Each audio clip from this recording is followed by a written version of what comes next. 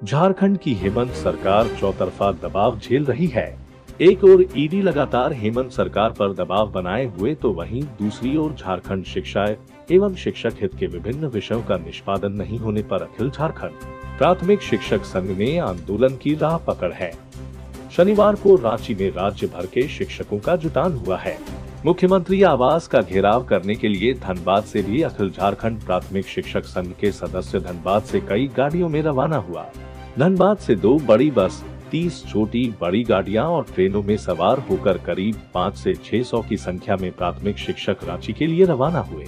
वहीं मोराबादी में हज़ारों की संख्या में प्राथमिक शिक्षक संघ जुटा और मुख्यमंत्री आवास घेरने का कदम बढ़ाया तो पुलिस ने ब्रिकेटिंग करके वही रोक दिया आइए।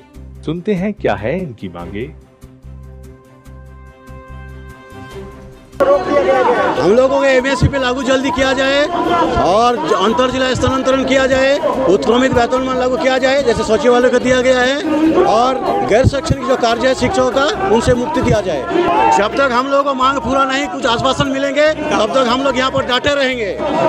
हम सभी शिक्षक हम सभी शिक्षक आज 19 नवंबर 2022 को माननीय रांची में माननीय मुख्यमंत्री जी से चार सूत्री मांग को लेकर के उनके आवास पर मिलने आए हैं और हम लोग चाहते हैं कि हमारी वार्ता उनके साथ हो ताकि हम लोग अपने पूरी ऊर्जा के साथ बच्चों के बीच शिक्षण पठन पाठन कर सके।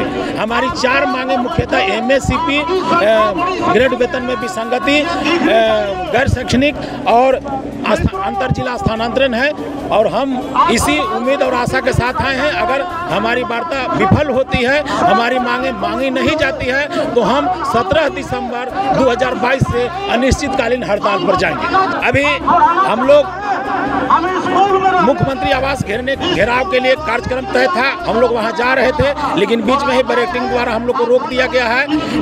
लेकिन सरकार द्वारा, प्रतिनिधि के द्वारा यह भेजा गया है संदेश कि हम लोग वार्ता के लिए बुलाए जा रहे हैं। अगर वार्ता के लिए बुलाए जा रहे हैं, वार्ता सफल होती है तो ठीक है, नहीं तो हम लोग आमरण अनशन पर जाएँगे।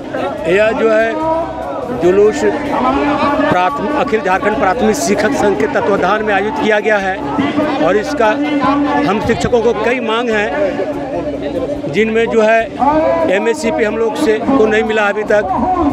16 साल गुजर गया। हम लोग को जो है गैर शैक्षणिक कार्य में लगा दिया जाता है।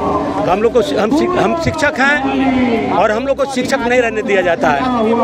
आज शैक्षणिक कार्य छोड़कर सभी कार्यों को हम लोग करवाया जाता है और इसके बाद हम लोग पर दोषारोपण होता है कि शिक्षक नहीं पढ़ाते हैं। इसके अलावा जिला स्थानांतरण की समस्या है, बहुत से शिक्षक जो है, बहुत दूसरे ज़िले में हैं जिनको बीमारी का सामना करना पड़ रहा है, उनका परिवार बीमार है, उनके चलते जो है, उनको सुविधाजनक स्थान पर नहीं है जैसे शैक्षणिक कार्य प्रभावित हो रहा है।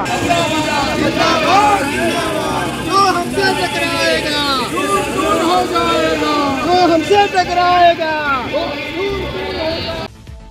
अपने राज्य से जुड़ी हर ताज़ा खबरों के लिए आप हमें सब्सक्राइब करें, साथ ही बेल आइकन बटन दबाना ना भूलें।